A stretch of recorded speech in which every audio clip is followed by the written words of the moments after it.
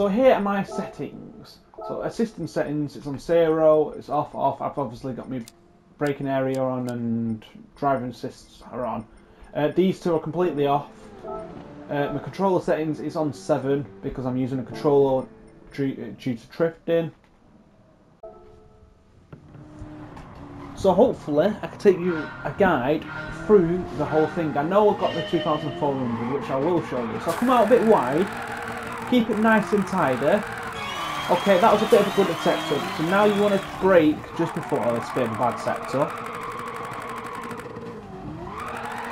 Make sure you always do that at the end of it because you will get more points if you do that. So if you're very close to getting that 2,700 mark, make sure you do the whole circle.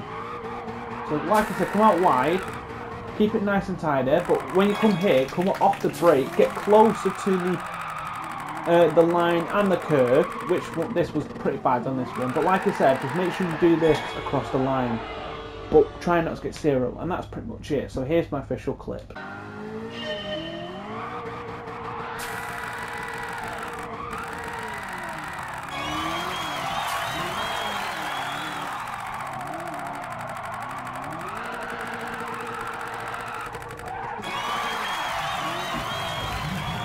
Come on! I've done it! yes!